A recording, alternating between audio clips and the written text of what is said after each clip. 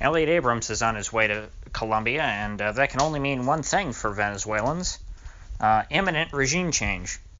The Miami Herald is reporting that Abrams is uh, on his way to try and assist with uh, the uh, delivery of uh, humanitarian aid to starving Venezuelans.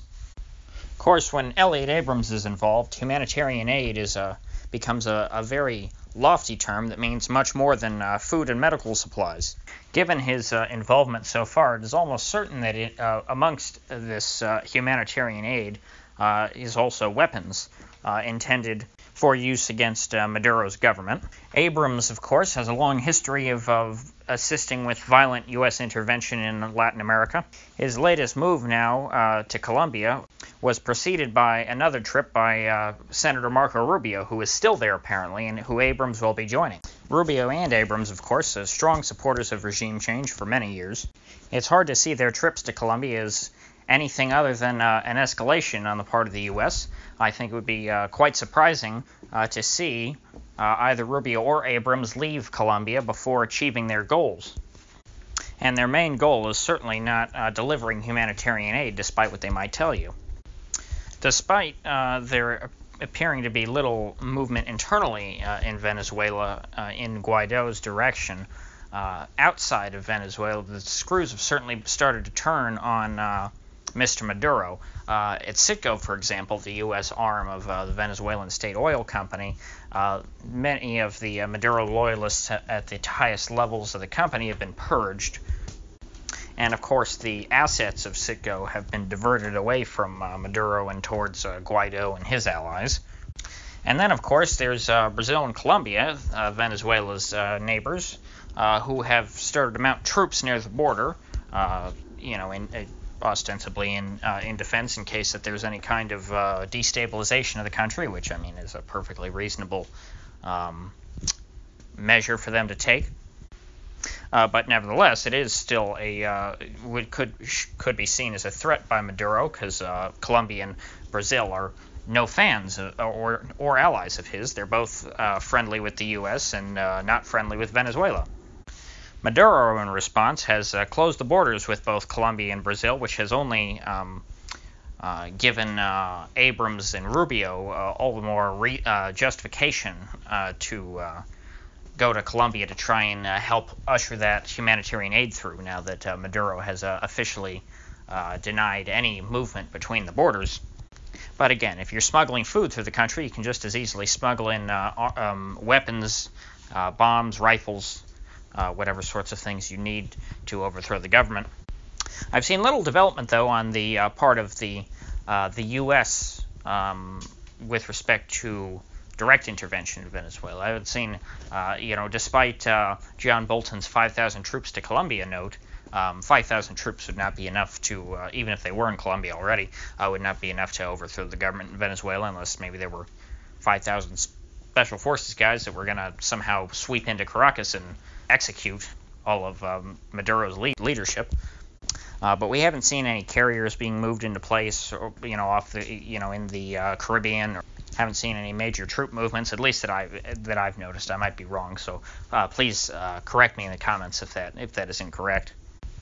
But at this point, it still seems uh, as though they're going to try and uh, execute this operation uh, through um, non-conventional warfare means, i.e., you know, the sanctions, proxies, all that, all that jazz.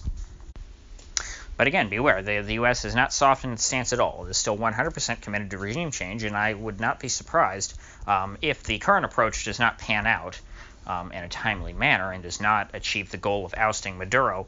Uh, I would not be shocked to see uh, U.S. Uh, ground troops uh, start making its way uh, into the public debate because I think once uh, the uh, the administration pushes as hard as they're about to do, um, if they do not succeed, they will look like fools if they just back down at that point, and then I think Trump will be forced uh, to send in the tanks, so to speak.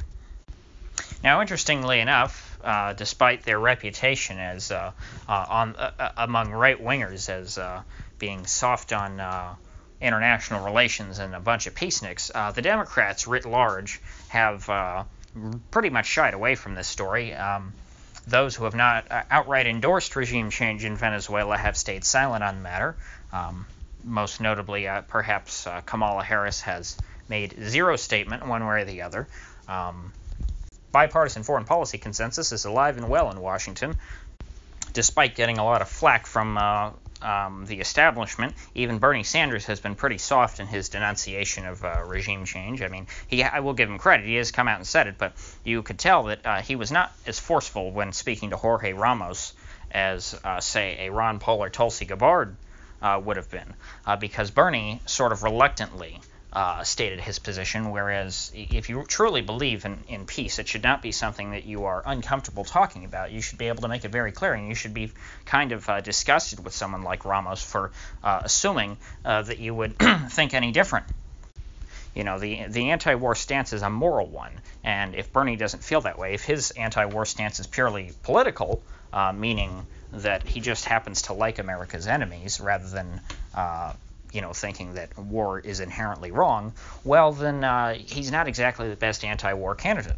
You don't oppose a war because you don't you don't you won't like the outcome. You should oppose a war because wars are evil. When you oppose a war because you simply like the uh, the government that is being targeted, well, then it makes a little a little awkward for you to try and denounce uh, U.S. intervention in that case, because then Bernie has to come right out and say, you know, either, oh, I, I just happen to like Maduro, which is a far less defensible position uh, because uh, Maduro is a scumbag. All these politicians are trash.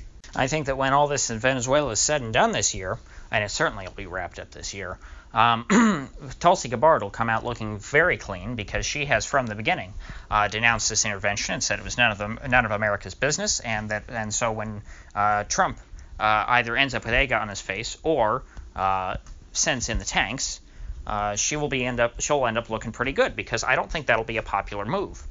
I don't really know anyone other than perhaps uh, some Cuban folks uh, who would be okay, who would be satisfied having uh, their son or daughter uh, fight and die for Venezuela.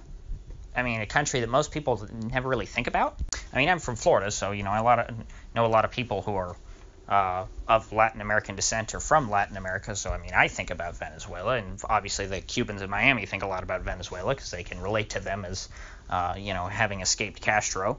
Uh, the uh, the Chavez Castro uh, similarities, I think, uh, creates a lot of kinship between Venezuelan and Cuban expats. Such as Marco Rubio and his family, but Americans at large, you know, you're talking about, you know, Billy Johnson in Alabama, uh, in his if he hears that his son died in a, a battle in Venezuela, you think he's gonna, you know, I mean, you think that people are gonna be okay with that? I mean, maybe if the media's propaganda is as strong as it was in Iraq, you know, maybe it'll get by for a, a, time. But I think that people, a lot of people in America, learned their lesson after the Iraq War that you know not all wars are good and patriotic. Some wars are just stupid.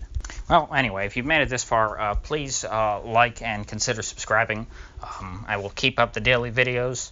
Uh, hopefully, I'll start making some progress and people start watching uh, eventually. But hey, until then, uh, I will keep using this as my daily event uh, about the news, and I, I hope uh, some of you care to join me uh, along for the ride.